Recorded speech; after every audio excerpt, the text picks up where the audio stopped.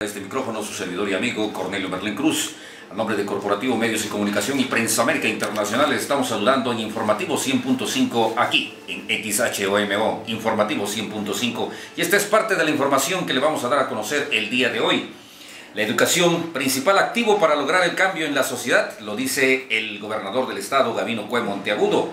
Integrantes de El MUL toman instalaciones de los CECITES. Así también le estaremos informando que el Instituto Estatal de Educación Pública de Oaxaca informó que en dos comunidades no se iniciaron las clases este lunes debido a los conflictos que sostienen allá eh, el magisterio entre los agremiados de la sección 22 y la 59.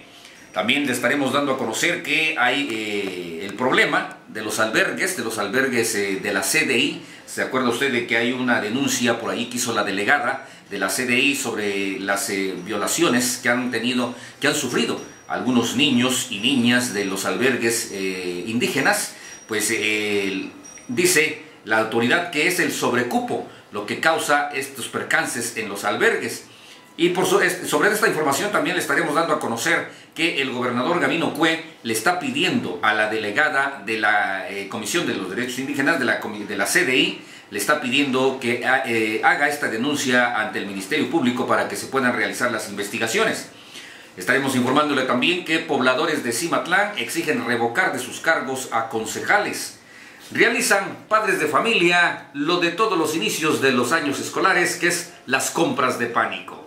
Súmate, la organización Súmate, está exigiendo atención médica para las mujeres. Le informaremos también que exigen castigo familiares de Lorenzo San Pablo. ¿Se acuerda usted de Lorenzo San Pablo? Él falleció lamentablemente eh, cuando la, situación del 2006 falleció enfrente de por allá de una emisora en Oaxaca.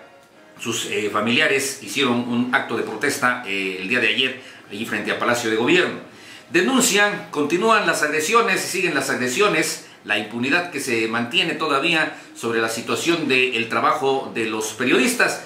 Eh, denuncia un compañero fotógrafo reportero su agresión que sufrió y eh, le estaremos también informando sobre la feria del libro que se estará llevando a cabo en Tehuantepec y por supuesto tenemos para usted las actividades que realizará hoy el gobernador del estado, Gabino Cue Monteagudo. Fernando. Así es, este Coronel, muy buenos días, 8 de la mañana con 5 minutos.